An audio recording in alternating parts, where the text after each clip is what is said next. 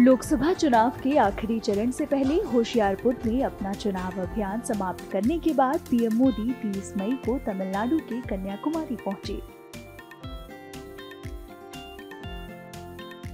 प्रधानमंत्री ने कन्याकुमारी में प्रसिद्ध भगवती अम्मन मंदिर में पहुंचकर प्रार्थना की।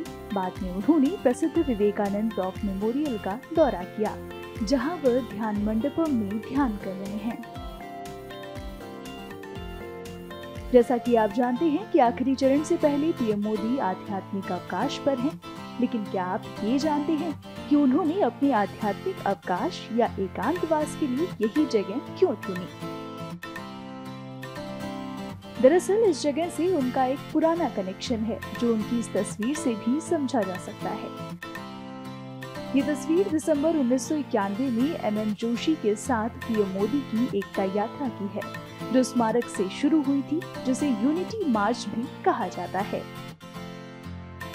दिसंबर उन्नीस सौ इक्यानवे में इस यात्रा को कन्याकुमारी से शुरू किया गया था और 26 जनवरी उन्नीस सौ बानबे को ये यात्रा समाप्त हुई थी।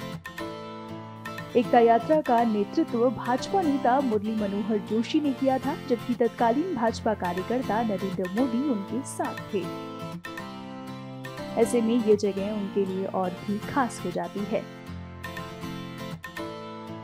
जहाँ उन्होंने एक कार्यकर्ता के रूप में अपनी एकता यात्रा की शुरुआत की थी, और आज शांति और सुकून की तलाश में भी उसी जगह पहुँचे हैं।